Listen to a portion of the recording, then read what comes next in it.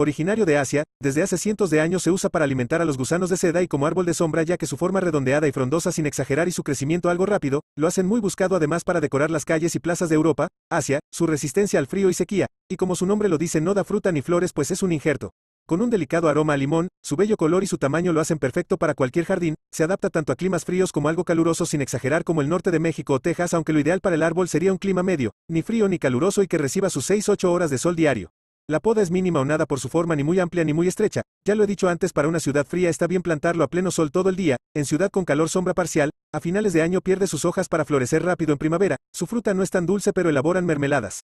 Es pequeño y resistente a muchas plagas, falta de riego y frío, aunque las flores son blancas y pequeñas no va a ser mucha basura, este está siempre verde, hay otro llamado Robinia moptopes caduco y la diferencia tiene las ramas más colgadas y largas y es más usado en clima frío, ambos son de sol, para espacios pequeños, aceras, compactos y de tronco derecho. Flores a finales de primavera y principios de verano, hojas en forma de corazón y grandes que pierden invierno, tronco recto, resistencia a las heladas y es de pocos y fáciles cuidados. Eso no quiere decir que no haga basura pero será poca.